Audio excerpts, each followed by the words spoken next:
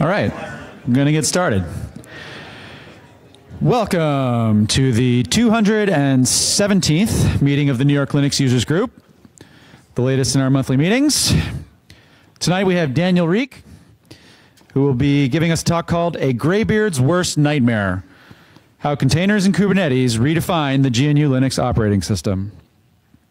Uh, I'd like to say how much we appreciate our sponsor, Two Sigma, uh, for continuing to provide this lovely space. Uh, and thank you to everyone here for taking the opportunity to join us tonight.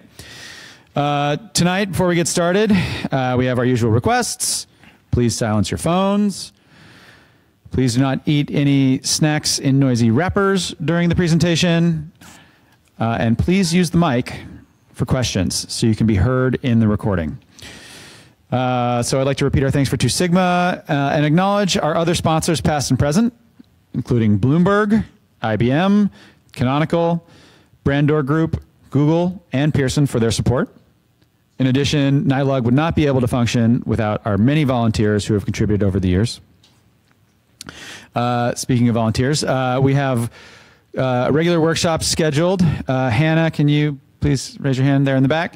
Um, afterwards, if you'd like to know more about our workshop, Hannah's here to talk. Uh, she's also looking for help uh, and volunteers to help organize the workshops. They're happening these days at the NYU Silver Building, room 512, uh, 32 Waverly Place. Uh, and the next workshop is Tuesday, July 3rd from 7 to 9 p.m. and is on the NYLUG page uh, on Meetup.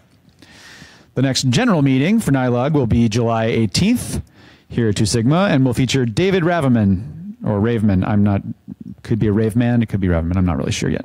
Uh, from Google, who will be talking about Crostini and bringing Linux applications to Chrome OS with proper UX integration and all the security benefits intact. Sounds like a cool talk. Uh, the listing is on meetup.com and RSVPs will be open on the 4th of July. After the presentation, we'll be heading to the Cupping Room Cafe.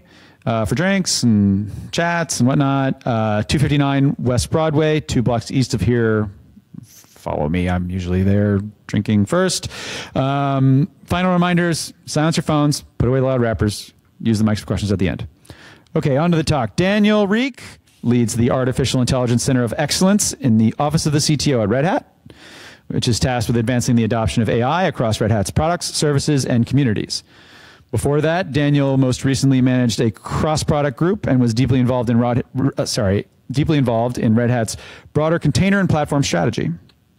Daniel has been in the open source business since co-founding ID Pro, one of the early Linux startups in Europe in 1996. And he also led product management for Red Hat, Enterprise Linux from 2005 to 2011. Please give a warm welcome to Daniel, giving us a graybeard's worst nightmare.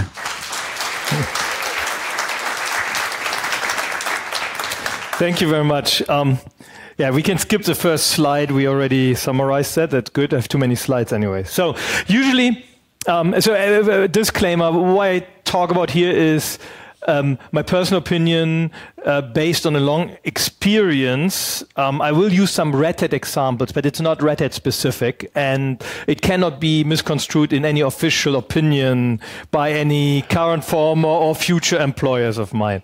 Um, some of the things I say. Uh, probably they want uh, deniability. Anyhow, I usually let my beard grow out, but my wife hates it, so I didn't do that this time traditionally, when we um, when we look at at the Linux operating and operating systems in general. Um, yeah, we look at it from the infrastructure up. That's true for most people in the Linux space, in my experience. It's definitely true, for example, for, for Red Hat um, and the, the, the Linux distribution community. Um, I call it the infrastructure view. It's all about enabling hardware and it's machine centric in a mindset. But there's an alternative view that is application centric. You look at it from the from the top down, right? It's it's not just like it's not the kernel that that brings up my hardware and gives me drivers to talk to the hardware. Um, it's the user space runtime that lets my application run and gives it stability. And arguably, the most important piece is actually the user space view on the operating system um, because it abstracts from the infrastructure and allows you to um, run an application independent of what the specific hardware is. Right? That's that at the end the whole point of an operating system. Um, so if you look at the traditional role of GNU Linux, um, you know, like historically, like when when when when you know when we, we all were young and, and, and computers were new and all that, um, so before my time, uh, we had mainframes, right? We, we had leased hardware, um, big machines, that were controlled by a single entity in general, right? They were they were like even as a user, you didn't own the hardware. You made some contract with um, with a big company that put that machine in your in your building, and then you could um, with a service contract access a certain compute capacities on that on that machine, right? And then you could call them and say, "Oh, I need more compute capacity," and they could open up more uh, CPUs for you in, in some of the models at least. And in, in that environment, the hardware was was usually not, it was not everyone's business model, but that was one of the predominant business models. Um, the hardware was owned by the vendor. You leased it. It uh, was a closed ecosystem. It was black box services. You put your data in there. They were very reliable, but you could never, you would never have any choice. Most people didn't want choice at the time, but um, it, it it was was very controlled. Um, and the, you know, I, when I when I talked about that, some, sometimes you say, "Well, you forget microcomputers," but I think microcomputers were just small mainframes, so I'll just ignore them for now. Um, so Unix came along, and we got the concept of open systems. So suddenly we had we had still um, expensive proprietary hardware with a pro proprietary operating system, but you got some choice in, in this, on the software side, right? You could install third-party software on that um, that wasn't fully dependent, at least for most of the Unix vendors, it wasn't fully dependent on the vendor approval anymore. Some some of the Unix vendors still kept the model um, where you know the toolchain was so locked down that you had to get the approval to write software for the platform. But in general, Unix allowed you to write your own software and, for example, install GNU tools to you know do whatever you wanted. Um, so you had like a, a, you had still vertical integration of the infrastructure and the operating system and the toolchain, but you had some uh, more open ecosystem. But it was still very expensive. And then Linux, and in, in Red Hat's case, Red Hat Enterprise Linux, but there are others, um, came along and they changed the game here. Because suddenly, well, one way to look at it is that, that you know, Linux made it possible for people who could only afford a PC to run their IT like they could afford Unix servers. Right? That's one way to look at it. But the, the more strategic view is that um, what it allowed you to do is to freely choose the hardware you were you wanted to use, the operating system and the applications. Right? You had a full choice across the ecosystem, and you could even dig into every piece of the operating system and a good part of the toolchain, most of the toolchain, and, and many of the applications, and change them, right? Because they were open source. And that is um, that is a, a, very big difference. Right? It didn't force you to only use open source, and many of the software, every you know, um, the opinion that everyone has a right to publish their software and there's a license they choose, you know, in compliance with the licenses they use to write the software. But ultimately, uh, you know, even if you run proprietary application, uh, applications on top, you get an even playing field. You have a neutral runtime, and that basically is the, the core role of Linux, giving you a neutral runtime to run whatever app, software application you want on whatever platform you choose. Um, and you know, today across across hardware, um, on the source code level, different hardware architectures, and across the clouds. And the, the, the reason why Linux is predominant, the predominant operating system in public cloud um, is because you can run the same binaries or you can at least compile from the same source code um, and move that across all these different platforms because you have a stable abstraction of your underlying infrastructure. So that's a core role of the operating system. Now, you know, talking about software binaries, um, you know, how, how do we manage that, right? We deploy, we're talking about deploying software.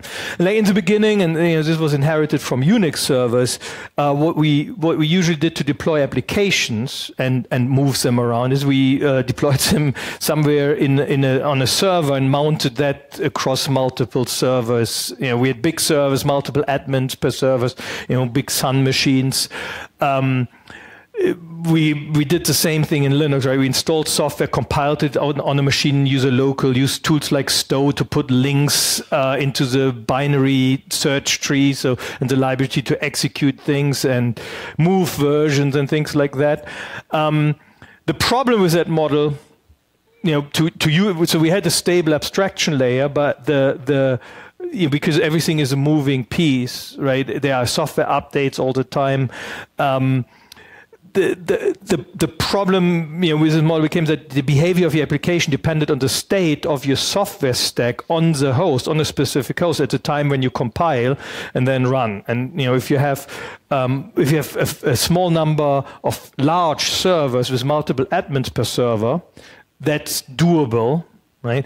But it became a problem um, with the PCs, the smaller PC servers that we use with Linux right? Because we had too many servers, and you know, keeping all of them in the same state became hard.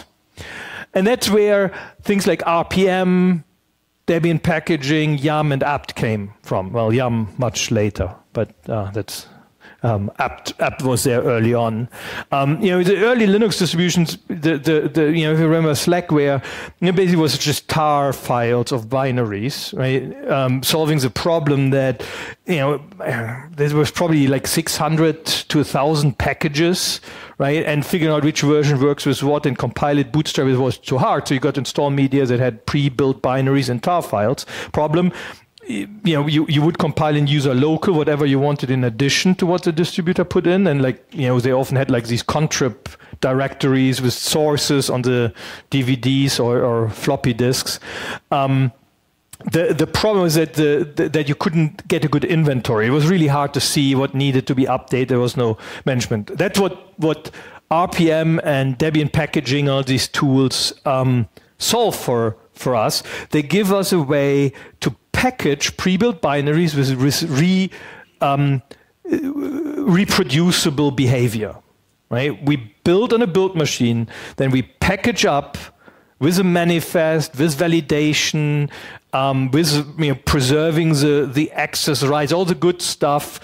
Um, the, the binary tree of the specific components with a dependency model saying, oh, if I want to install this, I need this other thing, this underlying library installed, which all the previous approaches didn't, didn't have, right? They couldn't manage that dependency. If you compile in user local, you find out when you run the configure script whether, whether you have all the dependencies. With RPM, it's pre-compiled. With Debian packaging, is pre-compiled, and you get, um, you get the same behavior that you had on the machine where you compiled it, and it reproduces the environment through the dependency tree. Um, this was awesome, right? This made uh, uh, this made Linux deployment scale. Before that, it was a pain. With that, it it became manageable, um, and and the the Linux distributions um, became you know, enterprise ready through that, basically, through this pre, uh, redistributability and and uh, um, reproducibility. Now, there are some side effects that um, you know, both Debian packaging and, and RPM introduce, and probably most others. There are exceptions, people try to work around. But one is that there's an implicit lock into a single instance, single version model. Um, so in, in both systems, you can only install one version of every package. If you want to work around it, if you say, I want two versions of an application, like uh, two versions of a runtime environment, the way to do that is you rename the package and relocate it. Right? Um, which, like before, when we compiled in user local, that wasn't a problem. We could, you know, unless you wanted to link it with Stow into the main search path, the main library path of, of the, the main system, you could, could have different versions of things installed. You you know, just made sure you kept them in your specific subtree in user local or wherever you did that, or, or mount user, whatever, where you had your, your binary server.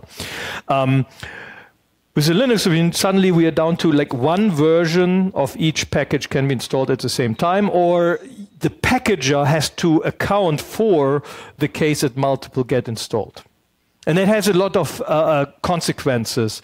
Um, you know, it, wor- it worked fairly well as long as there were small numbers, simple stacks, or you know, just using things that come from the distribution. But it had, you know, we'll see later, it has challenges when you get to a higher complexity. Um, it also implemented a, line, a late binding model for deploying software um, based on ABI contract. Now, so uh, if you look at that, so compiling user local is very late binding, right? You bind your binary dependencies when you compile the application to the individual host. That was the problem, right? Because differences between hosts, it was too hard to keep them um, consistent, and so there were unexpected behavior as a consequence of late binding to a binary dependency tree. With RPM and Debian packaging, we are late binding the dependencies based on pre-built binaries, right? Which works really well in a normal, um, in, in a small set of dependencies with a medium number of machines. But with software stacks getting more complicated, right? A modern Linux distribution is probably 5,000 components just in the core distribution, not 500 like 15 years ago. Um, or maybe it's even more. I'm not paying that much attention, but it's it's like it's a huge number of packages with a huge number of libraries, which like on a which get updates just for security reasons on a daily base, right? And then you have to make sure when you deploy things that these dependencies all match one to one, right? Because an update. Um, an update to an underlying library that changes the ABI or the API of the component will break your application tree. Right? So we call that dependency hell. You know, and we probably all have experienced that at one point or the other. And that's because it's a late binding model. You know, when you install it is when you bind the dependency tree. And if something changed, and if you have a large cluster, this point when you're done patching, you're going to start over patching from the other end because there's another critical update of some freaking component you're running in there. Um, so that is the, the, the problem we are faced with today, right? It's, it's a huge huge challenge, right? Now we got things like Kickstart, Satellite, CF Engine, you know, later Puppet, and then um, of course I have to say Ansible, which solves all the problems of the other systems, not the dependency. But you, you get my spin, right? Um, so we got mass deployment, we got recipes. It solved this for a long time, right? It bought us probably seven years on this, um, and um, have centralized control. You know that all my machines are in the same state. I have dependency tree management. I have um, uh, uh, I, I, have manifest for each machine. I can do it in a declarative model, in a in a in a command model. You know, it, it, it, it's it's kind of solved, but you still have dependency hell. they didn't solve that. Um, so we got we got a workaround, which brought us another. Well, actually, six, seven years, and that is VMs. Right? So um, virtual machines basically removed our dependency on hardware. Right? And, and, you know, initially that wasn't a Linux thing, right? On Linux we had like one piece of hardware, we ran multiple applications on each piece of hardware was not a big deal. In Windows, they couldn't do that for a whole bunch of reasons, or didn't want to do it, or whatever. And I'm not going to, it's you know, doesn't matter. They just didn't do it. So they needed VMs to multiplex the hardware. Now we inherited that, and with that we inherited a different deployment model, which is a VM-based model. You know, in theory, everyone was, oh, we're going to do image-based deployments with our VMs, right? In reality, no one did that. Well, it's actually, that's not true. You did an image-based deployment, and then you treated it like a pet and run yum update inside. Um, and, and, and, you know, and you got delegation, right? So you, you, you, you have this gold image, you give that to the app team, and then they're not supposed to do anything with the gold image, you're just adding the application. And the third time you try that, you're going to give them the root account on that image and they do whatever they want, right? So image-based deployment, then you have, you're back to the same problem.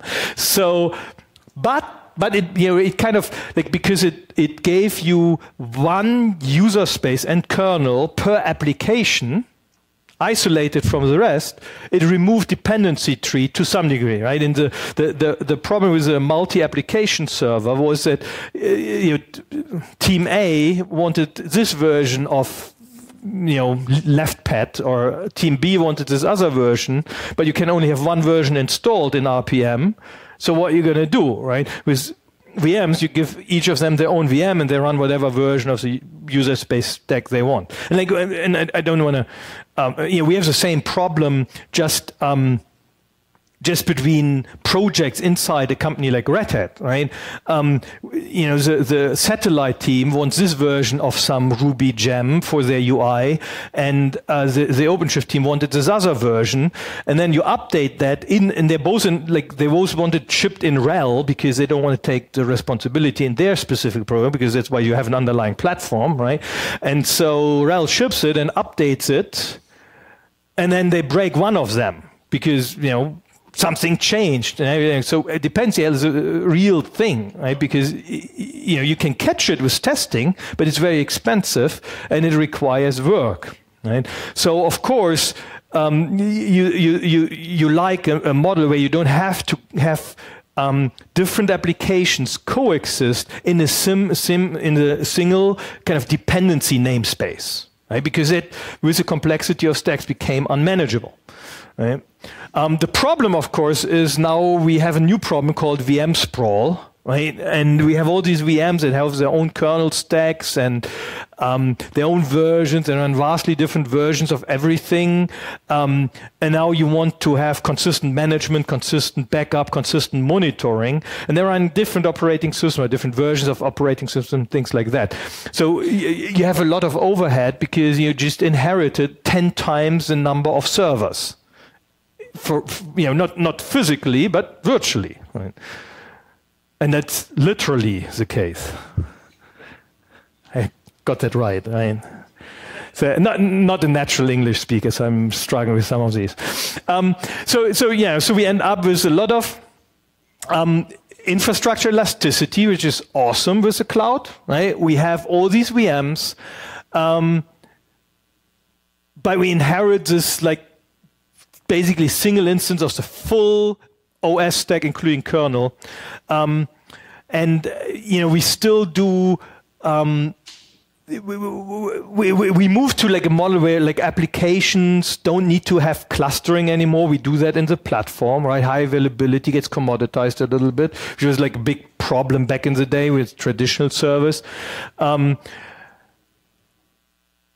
as I said, like in theory, you could move images across the the you know you, could deploy images and update images, so you could test an image and then deploy it. In reality, you're not doing that. You're doing the the late binding model still, where you where you log into a production instance and you run an update on the component level, which which is if you think about it, that's crazy, right? Um, I obsess a little bit on the late binding, right? Because so it was very crazy when we compile things in user local because we're actually compiling code. But even with with the the package level deployment, what it means is that you're going to run an update in a test environment for security. An update you have to do because it's, you know, Intel put another like Easter egg in their microcode.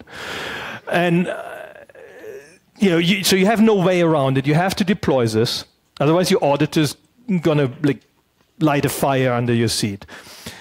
And um, you're going to do that in the running environment with no rollback capability, other than like finding a backup somewhere. Um, and you don't exactly know what happens because you're totally relying that nothing ever went wrong. Like there was not like some cosmic radiation issue that made a bit flip and like it resolves on all the machines it's a bit crazy, right?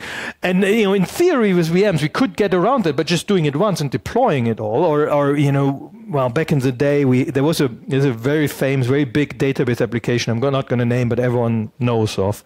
Um, back in the day, they had this Java installer that was terrible. When you had to run that as a GUI installer on a server, which you know kind of was weird, but you had to do that.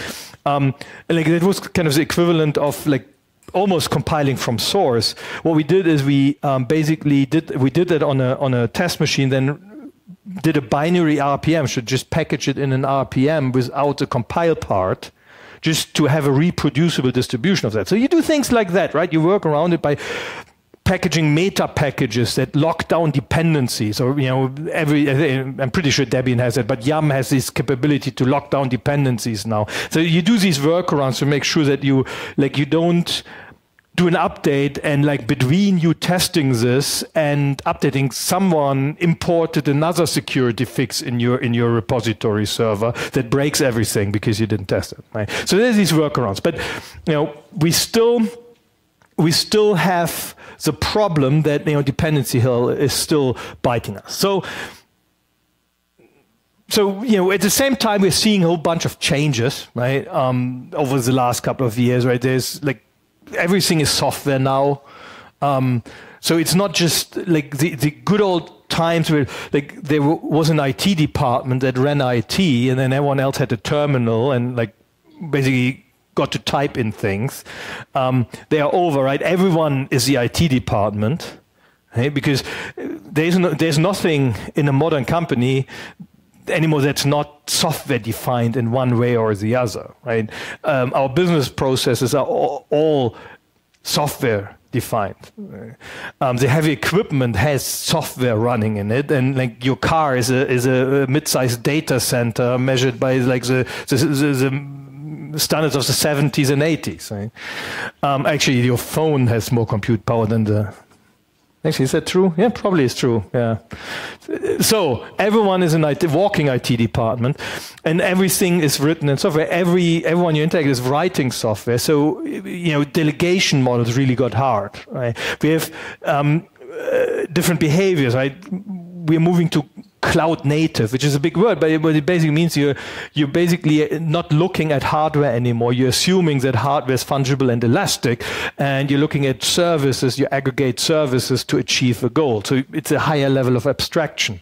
Um, you have um, things like CI/CD, you have DevOps. So, so behavior fundamentally changed, right? We do things very different than from what we did in the past. We also have an explosion in software stack complexity. I alluded to that, like the Linux distribution is actually a small problem, right? Because like if you look at, I said about 5,000 packages in the core distribution, right? The whole, I think the whole Debian, when I checked this um, a year ago, so I think the whole Debian ecosystem was, if I'm not wrong, 30,000 or 40,000 packages. You know, Fedora was maybe a third less. Um, well, there are 700,000 almost NPM packages in uh, npmjs.org. Anyway, I got this off the internet, so it must be true, but um, you can check it at modulecounts.com or um, but I found this an impressive number, right? Exponential growth in in just And these all can be forks of each other. It doesn't matter. Someone's going to use that. And I, I mentioned LeftPad earlier, right? There was an interesting case where someone deleted a package that everyone was using and a whole bunch of applications died in an update because a dependency just disappeared from the repo. Um, so, so, so we have a change in behavior. Things are faster. There are more people doing software and there's much more software. Right? So dependency hell nowadays, like if, if you go to like Dante's Inferno, like we are we are pretty much at the like bottom now, right? In the I don't remember what it was, but it, it, it was gruesome, and, and you know any anyone who tries to like build any npm based application today is painfully aware of this and, and if, if they really hate you they use angular in a python application and then you have to deal with both and right? Um, nothing works out of the box anymore. Um, so you know, the, so, so the, the, the traditional Linux distribution is really in trouble with this because like no one can package all of that in a Debian package or RPM package, and like at the time you're done, it's outdated, right? The you can't manage these dependency trees anymore. You can't even you can't get it right anymore because if you try to package all of this into a late binding dependency tree, at the time you're done with an update, you're going to update again, right? It's it's too many moving pieces. Right? Um, you can't test it reliably anymore. At that level of complexity, and like when you go higher in the software stack, tests become incredibly hard because they depend too much on the specific application. So you can't actually validate that everything works reliably anymore in a single namespace, right? And then, um, of course, there, there, are conflicts between all these things. There are different versions that people want to use. Any developer developing wants to use a new thing at the time, you know, the feature set at the time they're developing. Then they hand it off to an ops team, and they probably don't want to touch it anymore because you know it is done, right? So everything gets a tail, and and uh, you know you, you the, the, in the good old times, which is standardized everything. Say here's a gold image, here's the set of libraries you can use. That gets harder and harder and harder, and you know because your your um, competitive advantage. Um, of your website, of your customer interactions, of your trading, of your, you know, everything in your business depends on your ability to um, scale and, and feature richness and use the newest features throughout the stack. This becomes impossible to standardize, right? So the traditional model of pre-built binaries with a single namespace, managing dependencies through something like RPM, it's just not going to work anymore. Right? It can't scale with this complexity. Um, and it, it, also has no value, right? All you do there, like if you go into npm or, or, or PyPI, they actually have a package format, right? So repackaging that in a Linux distribution at zero value. It's just a wrapper around something that already does all the same things with dependencies, just in that space, right? So so there's there's like um, there, there's a huge huge limitation to what we can do there, um, and and you you have this you know you have this conflict implicit in there where you have the people who look at ops and they, they download things to install and update in place, right? That's what you want to do with the operating system. And there's the application view where people download things to build, right? And they, as long as it does what they need for their application goal, they don't care about any long-term consequences and they just throw it over the wall. So you have this very different views on it. So there's a solution to that and based on the title, you kind of knew where I was going, right? Um, so um, the, the, the, solution here are containers, right? which um, it, you know, uh, um, Solomon Hykes had this, this tremendous, like, glorious idea, the, the founder of, of dotCloud slash in the Docker project, um, and the company Docker. Um, he he combined a bunch of very well-known concepts. Right? We had containers forever, right? Uh, of course, the mainframe had containers. Anyone from IBM will tell you that. Um, uh, we had them in Linux, right? We had vServer for some time that was out of tree. Had LXC. Um, we were making good progress with with this concept of isolating processes in namespaces. And containers are just a, a, a word for like a bunch of kernel features, right? Uh, um, namespaces, um, C groups for resource control, and um, in, in our case at least, SELinux for security isolation. Um, in a container, you're sharing the kernel, but you separate the user space in individual namespaces they then have their own um, dependency tree. It's basically everything from glibc up as a simplification. It's you know, it's not the only thing that talks to below, but you have glibc as a base of your user space or another implementation of libc um, or other libraries um, in that container, and then you build your application on top of that. And each application manages its own dependency, its own user space, namespace. Um, the nice thing about that is that it it gives you without the overhead of a VM, which is a whole machine, right? So both performance and kind of management complexity of having a separate kernel, it gives you the ability to separate the application, give each application its own dependency tree, get out of the dependency hell, and um, you know it's the same. It's lightweight, like it has basically, well, it has a performance impact, but it's neg negligible for almost all applications, few exceptions where you're really latency sensitive, right? Uh, or in other words, like if you if you have a server in trading where you turn off SE Linux in a traditional deployment, then containers probably are not the right thing for you because they use SE Linux, right? That kind of level. But like in uh, VM, like in average has 10% overhead. Um, you know, this is negligible overhead for anything than the, other than the most sensitive, uh, latency sensitive applications. And, um, you know, it, the, the first thing it does is it gets us out of dependency hell because um, the application developer can build the application with the specific dependency tree they need, and they're not going to affect anything else in the system. Right?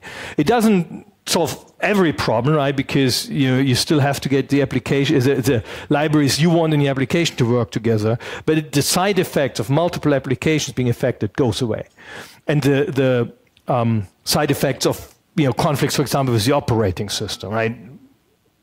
Um, and um, you know, it's standardized now as as OCI containers, um, as I said, um, initiated by by the Docker project. It gives you frozen binary distribution of the whole application stack, right? And so the, the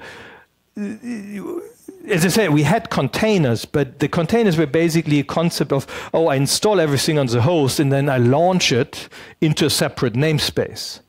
What Docker containers did, they combined the concept of namespaces with packaging, right? So you package it as an aggregate package that you can redistribute.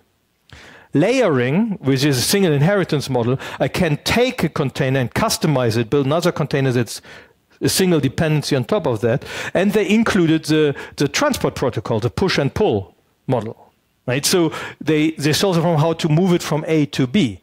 And the, the, the user space to kernel abstraction actually is stable enough to do this kind of thing. So in, in, in theory, you can well, in theory, you could break these things. So a newer container on an older kernel, I wouldn't necessarily recommend that. But going moving to newer kernels, different kernels, isn't a hard problem in general because so far the Linux kernel to user space interface has been stable enough to do this.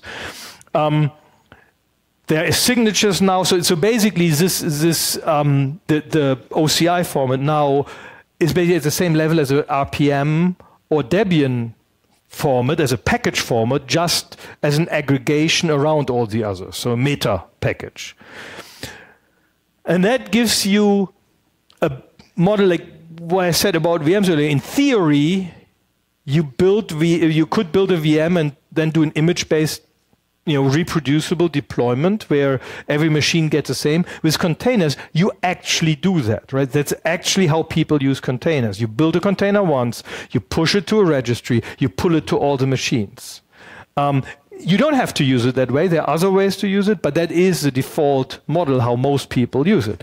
And that gives you um, this full reproducibility for the whole stack without um, having to, to wait through all these conflicts when you deploy. So it moves the deployment to what I call an early binding model, right? Because you bind your dependency tree um, when you deploy, uh, when you build the container. And after that, it's just, you know, in a way, a static binary for all intents and purposes that you move around. And it solves a whole bunch of problems. Um, it primarily like if you have CI/CD, if you have a lot of automation, it's extremely useful um, because now you can guarantee that there is no rogue update between your test and your deployment. Right? You can uh, guarantee that you deploy anywhere you want, but you don't have um, you don't have side effects between different services being deployed and you have all of that without the, the overhead of VMs. And you know, it's because of the layering model. It's it's space efficient because um, you know it, it, you can dedupe a whole bunch of things in the underlying layers, or they, they do that. Um, so it's you know it's not the full overhead of having um, you know multi gigabyte images uh, you know multiple times a day stored somewhere like you have in VMs. Um, now there are different runtimes implementing the OCI model, so it's actually a standard. So Docker is one, CRI-O is a Kubernetes specific one um, that um, that you know implement you know runs the same containers. So um, you know I usually say like when you have two implementations of a standard, it becomes a standard. right? um, and it, it, it basically combines the best of both worlds, right? Of packaging and VMs. It gives you an isolation that is a lighter weight alternative to VMs, but it gives you a binary producible um, redistribution of packages. Um, now, in reality, most applications end up consisting of multiple containers, right? Um, because so if you if you have a traditional application, you could put it all in one container, and you know you run um, something like uh, um, uh, uh, well, you can run systemd in there, or like in you know some watchdog that like manages your, your zombie process and things like that, or prevents your zombie processes uh, by killing children if the if the parent dies and things like that. But um, but you can have so you can have multiple processes in a container. Ideally, you, though, you want to have an individual service per container and you want to aggregate multiple containers into an application. But in order to do that, you need a higher level orchestration tool. Um, and that's where Kubernetes comes in. Um, so um, the, no, I'm going back to that. Um, so I'm actually not yeah, I'm, I'm, not talking about Kubernetes yet on the slide, but Kubernetes is basically where, where you describe how you containers connect. Another solution for that was uh, was Swarm um, as a as an orchestrator from Docker um, that can put containers together to aggregate into a multi-container application. Um, the yeah, so with Kubernetes, you know, the one I want to focus on. So Kubernetes basically look at it as a systemd for a cluster. So it's a container orchestrating cluster manager that um, places containers onto nodes in a cluster, treating the cluster as a default deployment model, and then connects the containers. In reality, so there are scheduling units actually a pod, which is um, it's multiple containers that share um, connections, share, share uh, addresses. Um, so it's, it's containers, pods, and machines and nodes. Um, and it gives you an abstraction model to define the the application and its service relationships. Let's say, you know, someone I have a, I have a traditional three-tier application, right? Um, so I have a front end, middle, uh, some logical middleware, and a database backend. So you would describe in a in a JSON file how they relate to each other, right? How they scale, how many of each you need, um, how they talk to each other, and then deploy that. And Kubernetes takes care of starting all of them in the right number and making sure they can talk to each other, independent of what the specific IP addresses of the nodes are and things like that. So it's a it's an abstraction up from the physical relationship. So, you know, similar, like if, if you look at it traditionally as single host, right, you can have different processes talk to each other without knowing specifics of the IP addresses, right? Like, you know, with, with local host and, and, and, and sockets and pipes and all these good things are for. This is basically the cluster view of that where I can define an application um, independent of what the actual addresses of my cluster are, how many nodes I have, you know, how many app services run on node. If a node dies, it moves around. So it also gives you high availability out of the box, right? It makes sure that the application keeps running. Um, initially it was uh, very much focused on stateless web applications. In the meantime, it learned how to deal with stateful applications, things like um, stateful sets. So you can say, oh, this application doesn't want to be kicked around and needs special handling. Um, and the the nice thing with that, it's like it's the next level up from what Linux did. Right? We we can run the same binary everywhere. Now we can run the same container everywhere, right? We build it once, we can run it in multiple places. With this, we can define an application once and we can run the same definition in multiple places without changing the definition um, to adjust for the uh, changes, you know, the difference in underlying infrastructure. So simple use case is you have one definition, you have a, a test a development cluster, a testing cluster, and a production cluster. The same thing is valid in all three. Um, and it's a parameterization of the environment that intersects where it talks to your development you know data set your test data set or your production customer data you know it will automatically know which ip addresses depending on where you deploy it because kubernetes takes care of this mapping um, so you can now really move the full application from dev to test to production without having to manually change things or have complex automation rules to adjust that.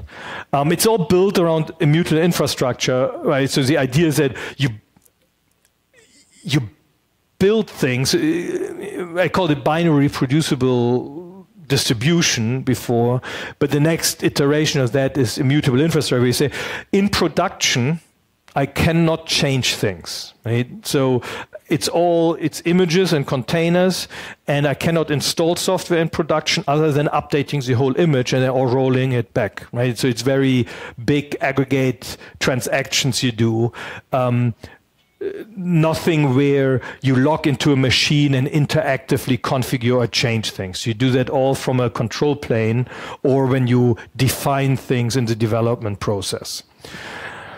Um, so uh, the so so you know this is this is all like getting us to a, to a point where now um, you know, we define full applications, right? So from compiling on user local, we moved to compiling individual things in binary packages, installing them. Then we, we defined manifests and had automation tools that do that for us. Um, then we got VMs, which were just bigger computers for the same and we regressed to updating in place. Now with containers and Kubernetes, we have the ability to define full application, deployed in in um, in a immutable infrastructure model, right? Um, the problem is that now we want to move things you know the, the next thing you want oh i want to just install an application. I want to publish applications. And i want to cross clusters. Or I want to even you know give a predefined application to an to a different entity to a customer. As red hat i want to write a piece of software that's a full service multi-service application. I want to give that to you and want to make it very easy for you to do. In the Kubernetes model I described before, Kubernetes and Docker, like I, I, can have the individual containers in the Docker registry or or the Quay registry, or you know you can build them and put in your, your enterprise registry, and you can deploy them. But the definition, the Kubernetes definition, you basically get from a Git checkout or cut and paste. Right. So you have kind of two different ways here to distribute that. That's not really binary distribution. It works like in a cluster, in a workflow, but what's lacking is is a transport model or an active model for the full application. You know, the example I usually use is, is FreeIPA, um, which is an identity management server that Red Hat develops. Um, which you know it's pretty complex, right? If, if any of you ever try to set up a directory server with Kerberos integration and PKI, uh, you know how painful that is, right? It, it, it's terrible, right? Um, Microsoft has a very nice solution for that. You know, FreeIPA is an open source alternative to to that, right? um, roughly. But it, it has a, it's also DNS, right? So it's it's like the four worst nightmares of a sysadmin in one. Um, and NTP, I forgot that, like because you know you, NTP is what's going to come and bite you, right? Because it breaks Kerberos when it doesn't work. Um, so what you do when you use FreeIPA is you write DNF install free FreeIPA server, free FreeIPA server install. It asks you a bunch of questions like what's your domain name, IP addresses, whatever, if it's greenfield. And then uh, you have a running instance, and next time you reboot, it's there. Right? It's pretty straightforward. And you don't have to do anything else. You don't have to edit um, uh, systemd unit files, right? It just does that for you. And it make sure that like there it's multiple servers, right? It's directory server, it's a Kerberos server, it's a web UI, it's a PKI server, and uh, and, and, you know NTP and D, DNS. Did I mention that or DNS? Right? And and and again, it, it you see how bad that is when the certificates get out of sync because you're like me and you're lazy about updating them in time and they expire. Um, it all breaks terribly still. But you know, but unless you you do that and you know, unless you're lazy like me, it's pretty good.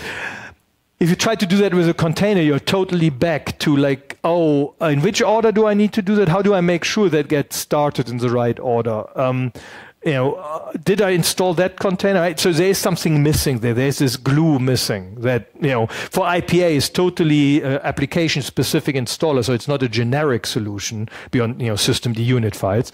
But, but that was, that, that was missing at this point. So the answer there is a combination of things that are converging right now. Um, Kubernetes operators, which are basically active um, sidecars to your application. Um, and the, the, the, the open service broker API, Ansible playbook bundles, and Helm. So Helm Helm is basically uh, Helm's charts are descriptive like, oh, these are the services I need. Right, so it's a manifest for multi-service application. Um, operators take that to the next level, and um, Ansible playbook bundles are basically uh, um, Ansible playbooks packaged as a container so you can deploy them with Kubernetes and they talk to the Kubernetes API to automate things in your cluster. And operators are, um, well, the, the, the idea behind it is that, well, I can try to teach Kubernetes how to treat every individual application. Right? But that's probably not going to work, right? Right now, if I define a template for Kubernetes, I define an application, the application might, you know, one of the services in my application is a database, right? When I install that database, it might be an update, and when I update the database, I might want to update the schema. I need to know how to handle that. Right? Traditionally, I write something for that, right? Like the IPA install tool I mentioned that will, when you update IPA, manage all the schema changes in all their databases, which, you know, LDAP and whatever. Um, so operators, the idea behind that is that the person writing the application, the people who write the application, are the people who know best how to install the application, how to update the application, how to meter the application, how to validate um, to, to uh, validate that the application monitors the application. Right? So it, it, basically is an active component, a, a companion component to your application that gets packaged with the application and provides Kubernetes with an interface to your application to manage the application lifecycle. So now you get to a point where you, I can define an application and you know, the, the, the, with operators and Helm charts and playbook bundles, I can wrap it up and then put the whole application in a registry and tell someone, oh, you know, if you want to deploy IPA, just click this button, and in an, in an independent of where you're running, whether this is a physical server or in the cloud or in a VM, as long as it's a Kubernetes cluster you're running on, um, this application can be deployed or uh, you know, update lifecycle managed automatically at the level of the full application, not just you know, individually for the database service, the LDAP service, the Kerberos service, and, and so on. So we get to full application um, portability, uh, which you know we are wrapping uh, in the Kubernetes service catalog. So um, that's based on the Open Service Broker API, and I don't know where I got this fancy like animated, but that's that's nice. Um, so the idea is basically you get a standard model for building service catalogs for applications to deploy. Um, this is it's an upstream project. Um, service broker APIs. originally, um, I think, a pivotal um, project uh, API um, they used. It's very simple. It just defines catalog. Uh, provision, unprovision, bind, unbind, but it lets you um, you know, it, it, gives you the standard interface, and oh yeah, I want to install this application in my cluster. Now, or I want to bind to this service in my cluster. So you have this abstraction, and then it calls um, the the operator and and playbook playbook through a standard API, and then you have your application running, and you can interact with it. So. Um, so that gives us three major use cases how to run containers, right? To summarize all of this, right? The, the thing I'm focusing most on is a, is a fully orchestrated multi-container application that would run on a Kubernetes cluster, right?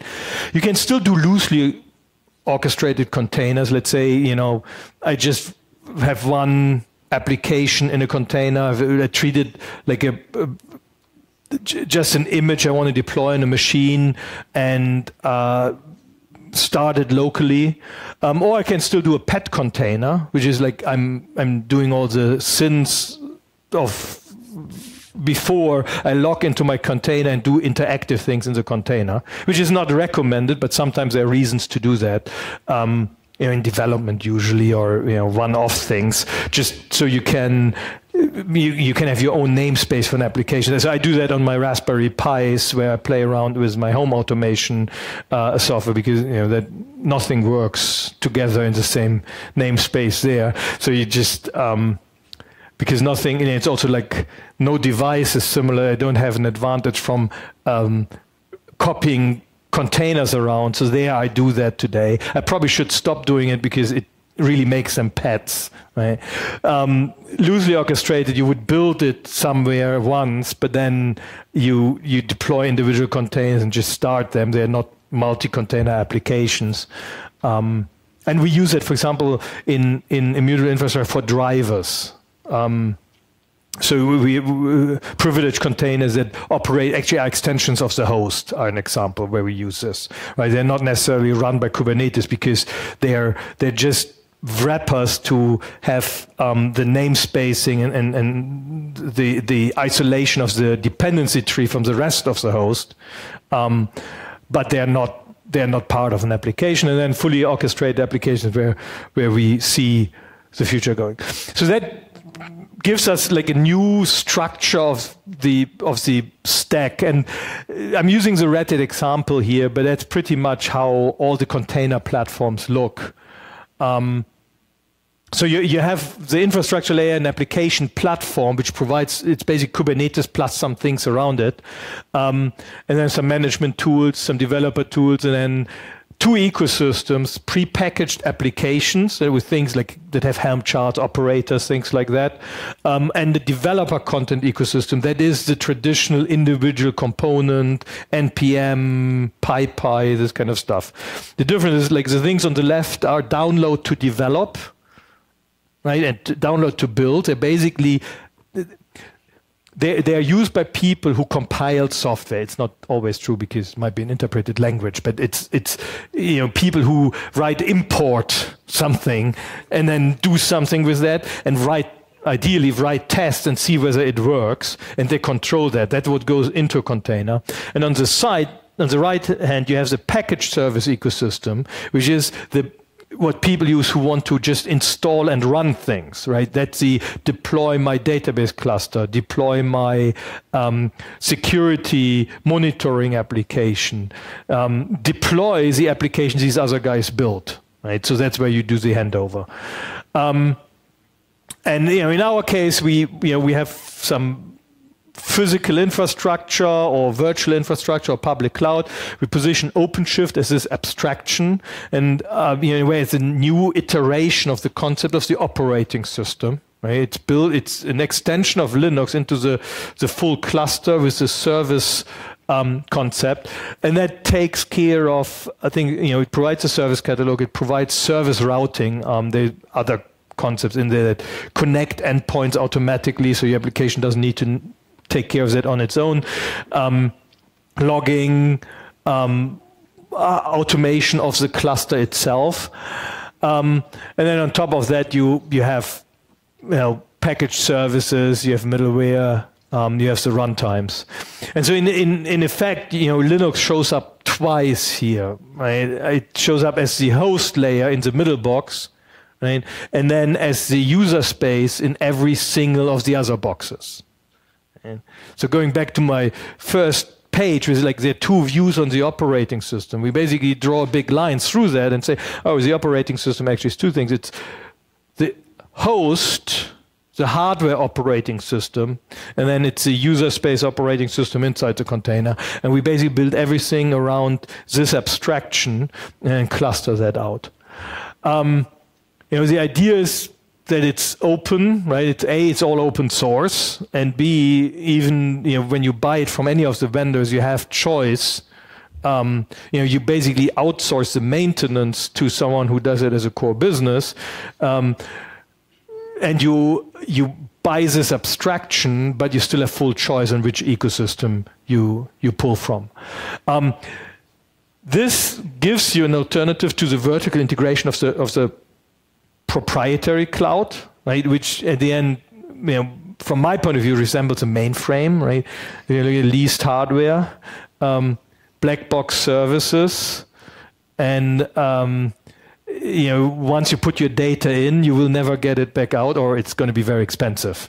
Right? Um, so they they reinvented the mainframe, and uh, the Kubernetes basically is the is the like the, the way that Linux was the alternative neutral runtime for an open ecosystem against um, the mainframe and, and the proprietary Unix world.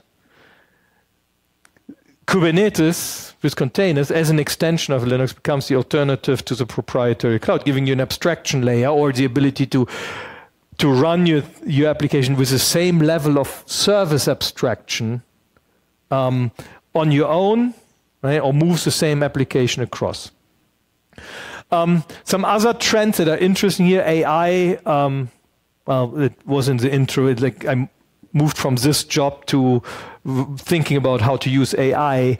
Um, what I find very interesting is that everyone, when I go to the vendors who do AI platforms, data science workflows, Kubernetes already has taken over that space. So the, the, most of most of the people building AI platforms right now are building them on Kubernetes. So everyone I talk to basically builds the same stack there. It's Kafka and Kubernetes, and then like things around that, um, which I find very interesting. Um, and it inherits a lot of the, the DevOps workflow that Kubernetes, most of the Kubernetes-based platforms support, which I didn't go into detail on. Um, and IoT uh, is an interesting. Um, interesting right now, the, like so, devices are very different, right? But but you have like devices are growing, and I see indications that devices are moving to a cluster model as well. So cluster, the, the cluster is a computer, is something I see happening in IoT as well. Plus, you know, when you go into bigger gateways and like this aggregation from from sensors to smarter devices, they're growing as well, and they're looking for right now. They're lacking a, a consistent application deployment model. Um, my bet would be that Kubernetes also becomes the default for that. But uh, I just want to bet saying, uh, you know, I said in August or something that a year from now, no one will will uh, cringe when I say a VM is just a special case of a container. I just uh, collected the price for that one. Um, I'll get to the proof point, but so I'll, I'll do another bet. Like a year from now, Kubernetes will be or something based on this, what I talk about is Kubernetes and operators on, will be the, will be a deployment model for I, IoT applications, not to the sensors, not to the small devices, but for the uh, aggregation devices and smarter gateways and uh, as a distributed compute concept that's that's implicit in there.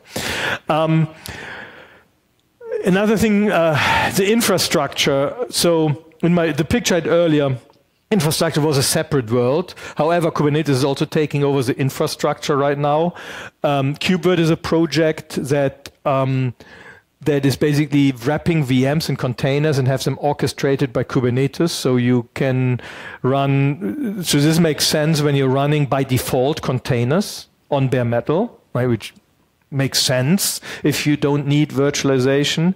But you have some things where you still want to use virtualization, either um, you know, three, there's three use cases. additional security isolation because containers are weaker in security than VMs, right? VMs has an emulated hardware layer to um, prevent aggression. Um, or you have an operating system that like is separate, a different kernel or different um, uh, uh, tuning parameters, right? You want a, a, specific kernel. So there are reasons why VMs still make sense, right? Containers do not replace VMs; they just um, they just replace VMs in cases where you should not have used a VM to begin with because you're solving a different problem. Um, uh, gives you a VM that's orchestrated by Kubernetes which is really nice. So you only have one orchestration layer across both use cases. And I think I read it container native storage is where your storage is now orchestrated by Kubernetes. So it's uh, it's cluster in a container on top. So the infrastructure suddenly moves from underneath Kubernetes to above Kubernetes, and Kubernetes becomes really like the we we call it the meta kernel. Right, which of course isn't true. It's a meta systemd, but everyone hates systemd, so we say it's a meta kernel. Um, so conclusions. Um, so I think uh, OCI containers are now part of the default Linux experience. Right? They're there. They're not going to go away. Um, the default deployment model is shifting from, from a single machine to a cluster, right, which is a real big like shift in in perspective. Right? Traditionally, we look at a single machine, and then the cluster is a special case. Going forward, the cluster is going to be the default. Individual machines are going to be the exception. Um, and yeah, Kubernetes is the default orchestrator for that. There are always others, right? BSD is still around, right? There are always others. Um, and we'll see, like, so for, for the, the the Linux distribution packaging will not expand in like with the complexity, will not try to scale with the complexity of these modern stacks because you can't package 700,000 npm packages in Debian packages and RPMs and you know think you are doing something useful. Uh, it just so there are other ways to address it. So native upstream packages are also going to stay around and we're going to use them and containers are how we deal with that. Um, and uh, yeah, the full application portability is, is the key to not get sucked into like a new mainframe model, which you know is a whole different debate why that would be a bad thing. But we're not going to go there. Um, what's next? So where does it leave the desktop? I really want to see a, a Kubernetes-based desktop. I haven't found anyone to do that yet. Um, but that would be awesome. Why? Uh, because I think that for most people, the desktop is a front end for the cloud, the hybrid cloud for the clusters, and we want the, the same application model across all of them. Right now, we, right now they're diverging. Uh, you know, and they, are diverging for the first time in Linux history in a way, right? Traditionally, for Linux, Linux server and desktop were the same thing. The the difference was that the the desktop was a server with a person sitting in front. And that's not the case right now. I think that's a problem. And I think that we need to ad address that for a whole bunch of reasons, similar to the IoT thing. Um, yeah, other orchestrated like uh, was a singularity and Mesos and all. Yes, there are special cases where you need other things, but the default is going to be Kubernetes. And then, yeah, the problem, uh, data portability is uh, is the next big problem we have to solve because right now, if all your data is in one cloud, then and they charge you for getting out of there, nothing of this will help you um, to save you. Um, that's it. Um, this is an awesome picture. It's called the Internet. I uh, there's a link where I found it. So if you want to um, give some kudos to the artist. Um, and uh, we all know that unicorns are real. And this one can even snort fire. So thank you very much. I hope this was interesting, and entertaining. Yeah. And if you have questions, I don't know if you have time for questions, but the microphone is being turned on, so we have time for questions. Excellent.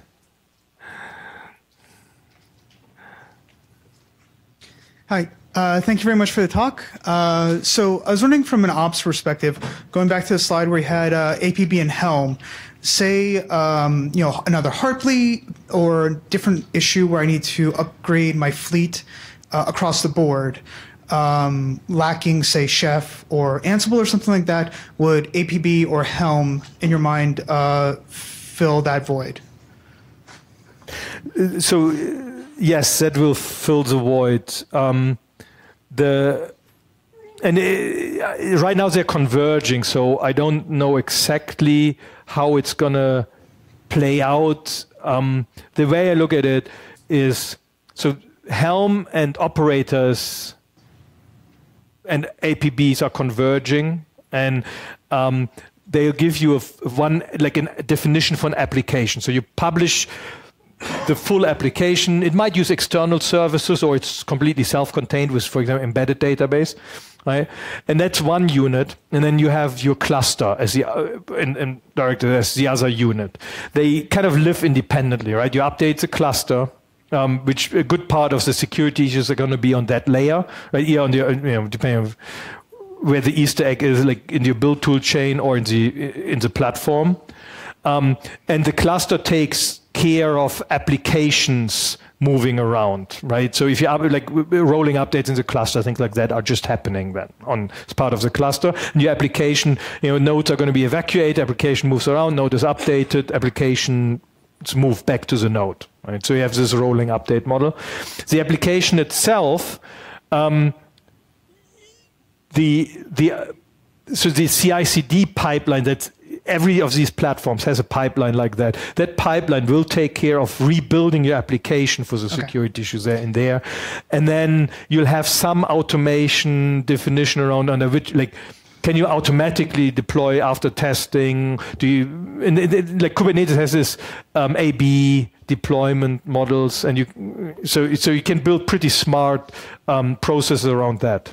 So what's the role of Ansible and and you know in that? So you still use something like Ansible or or Chef or you know Puppet around that though, right? Because let's say. Um, you know, if you have multiple clusters, use it to tie it together and tell them, "Oh, you all need to update this," right? Um, or oh, go ahead. Uh, I was just going to say, uh, so uh, restating it uh, it sort of boils down to continually rebuilding your base containers and rebuilding your apps, even if you're not doing code changes, just to make sure you've got your latest security patches applied. So yes, you will.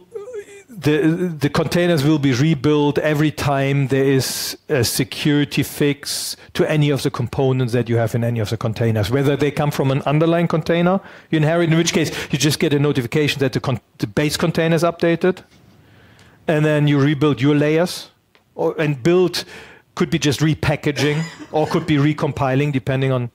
Um, in, mo- in many cases, you've got to recompile because it's integrated, but you might have your build tool chain outside and you're just packaging and then um, that. And like, so, in a way, it's an it's a it's an interesting trade-off, right? The argument for the traditional model is that oh, I have to do less build operations right? Because I can update in, in the production system. But then you, you have the, in the production system, the risk of, the, of inherited changes. If you do it the, the model, you have to rebuild anyways, and you run it through CI, I think the end result is going to be more stability. Um, but you know, it's it's a very big change, right? You're building much more, right? Thank you.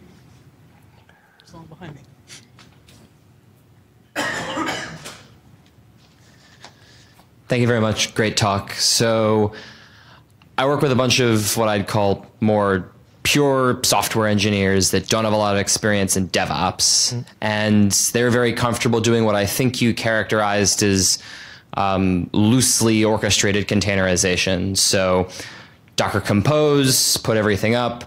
They've people where I work have had a lot of friction shifting from deploy everything as a single Docker image into Kubernetes. Mm. Um, Kubernetes has a tremendous number of knobs and levers, and the learning curve is very steep.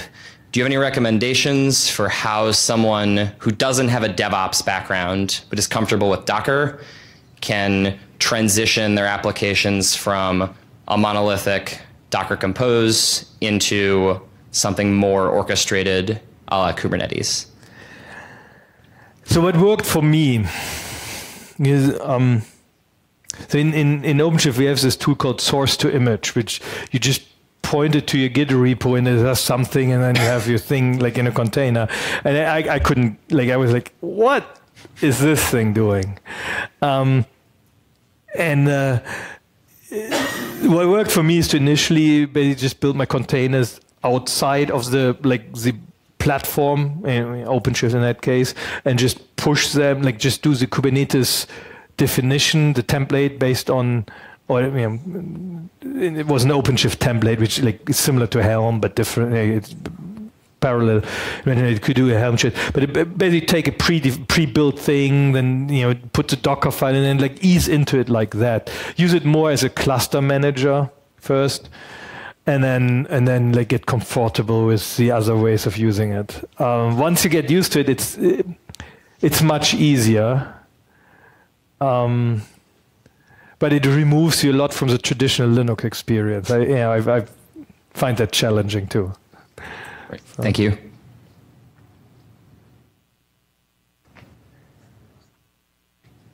Uh, there was uh, some slide that had to do with um, using stuff like Ansible inside the container versus using. I think it, the word was. I mean, word. The the what was said was uh, API on like a lower level. Yeah. Uh, know which slide you. Yeah. And uh, that was the different use cases for containers, right? Um, yeah, one? there it is. Yeah. yeah. I was just wondering what the difference between those two is. So, all right, like the the pet container is basically so. Most people say it's crazy. I think it's valid, but that's one of the things where my employer will claim deniability. Um, or most people there anyway, Phil.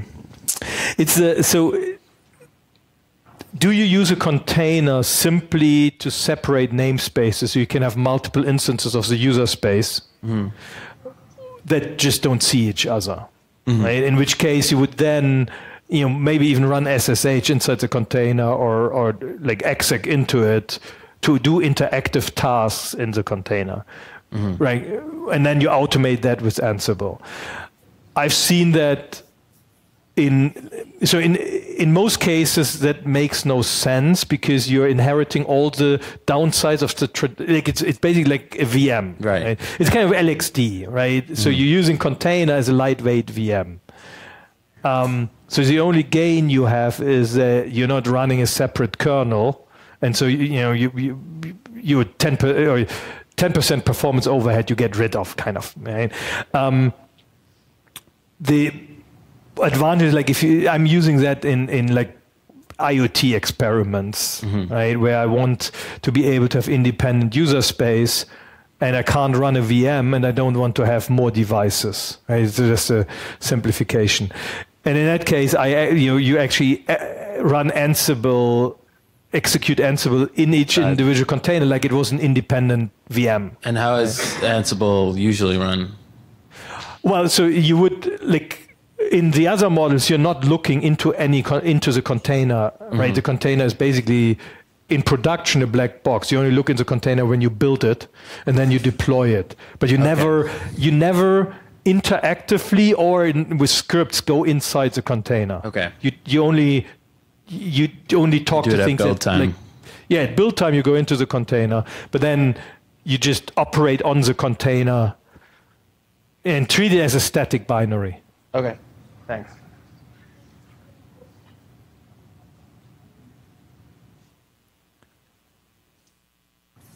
Daniel, thank you for the great talk. Um, I want to go back to your title, Greybeard's Worst Nightmare. And I'm trying to, I mean, is, is the nightmare resolved, or is there a nightmare at every step of this journey? Well, I think it's the it's a right. It's a it's a it's a big change, and this like when I when I started this, it was about the time when uh, Debian was forked because of systemd. Yep. And like if you haven't forked because of systemd, you're going to fork because of Kubernetes. Was the logic, the joke behind it? It's a it's a bit old. I. I All right. Thank you.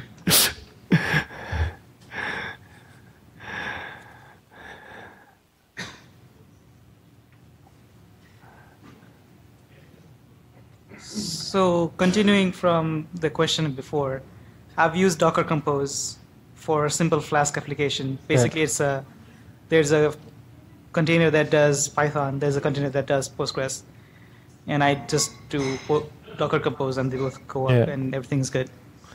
How do I run Kubernetes on my laptop? And so, that would be the same as. So there's a project called Minikube, or um, we have a, a downstream version, uh, Minishift, which gives you um, basically a, a, single node cluster installed to try that out. So I can like system control and start Minikube. Uh, yeah, it's a it's a tool like so you run mini Minishift install and so if you look for Minishift that that's a good starting point. And it uses um, OpenShift Origin, which is the like the Fedora equivalent of OpenShift. Which uh, so the way that works for uh, uh, it, it's kind of an interesting like the Linux distribution, right? There are aggregations of many individual projects. Right? And so the Kubernetes distributions, Kubernetes itself is like one piece, but the platforms all add additional things like Jenkins integration and you know other operator frameworks and things like that.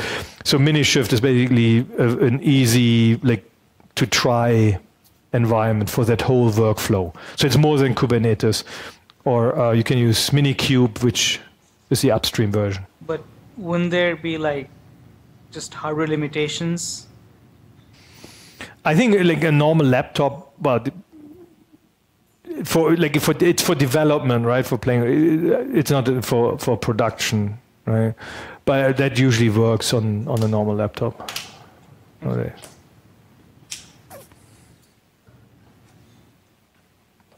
Daniel, thank you very much for presentation.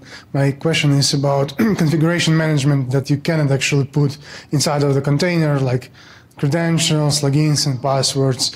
Uh, can you just put a few words on that?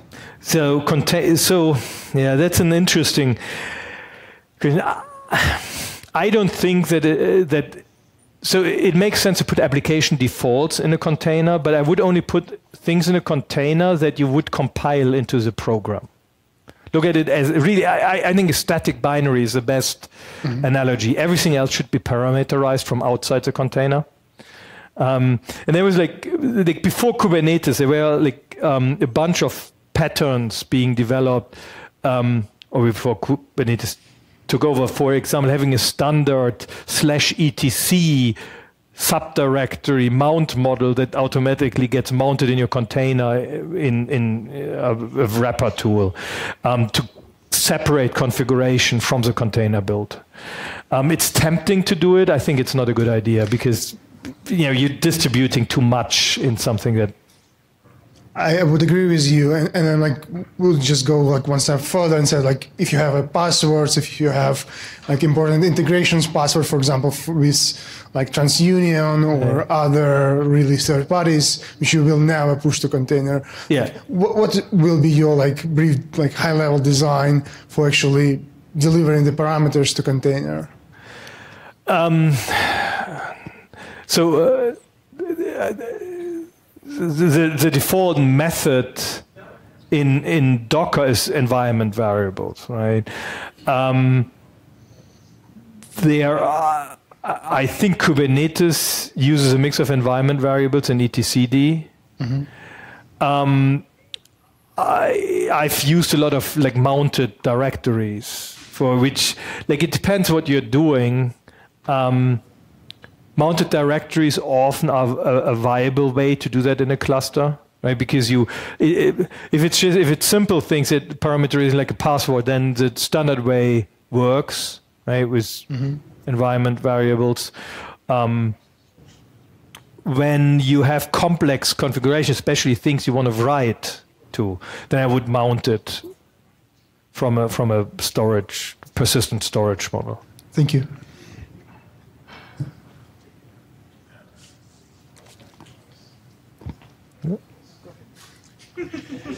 Uh, thank you for the talk. Uh, I was wondering, um, as far as handling persistent storage goes within Kubernetes ecosystem, uh, what do you see as like the leading slash best way to handle that? Um, so uh, there's a standard interface for that, right? Um, which uh, uh, CSI is that? Yeah, CSI is and I, beyond that, I don't really have a strong opinion. We have our, we sell a solution, well, two depending on what you're doing, but but um, uh, yeah. So there's a, container native storage cluster that I mentioned is a solution for that that is integrated well, but ultimately, I think anything that that like buys into into um, Uh, uh, uh, CSI is is good. I also see, I still see, a, well, Kubernetes itself doesn't manage infrastructure, right? It's it's it's a, it's an interesting uh, debate. I, I have sometimes read it. People say Red is an infrastructure company. I say no, no, we are not. We're an application company. We nothing we do actually manages infrastructure, which is not quite true anymore. But back in the day, that was true. And what do you mean? It's an it's it's RHEL. Well, RHEL can't even auto detect your your storage if that's in a in a real storage system because it doesn't actually talk to the infrastructure. It doesn't. You need to install a third party tool from the hardware vendor to actually know what the storage is doing.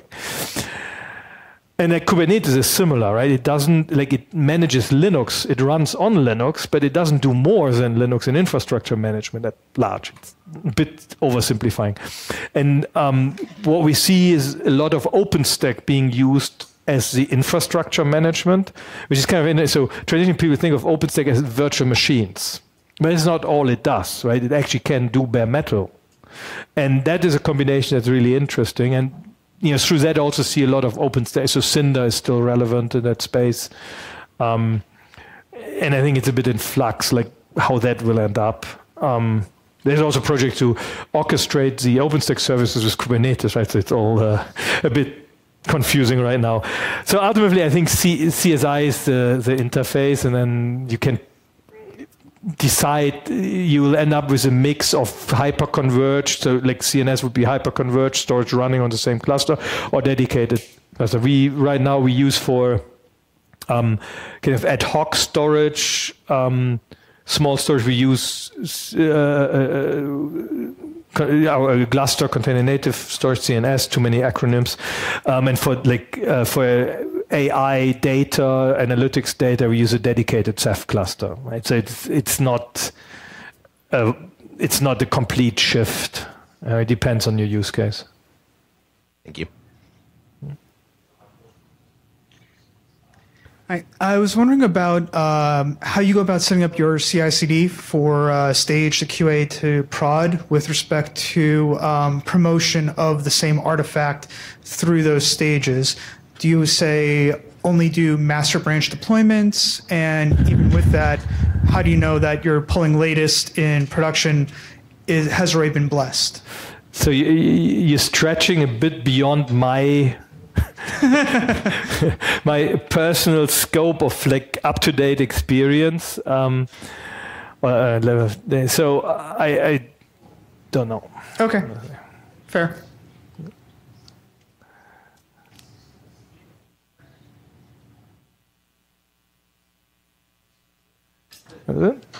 Well, thank you very much.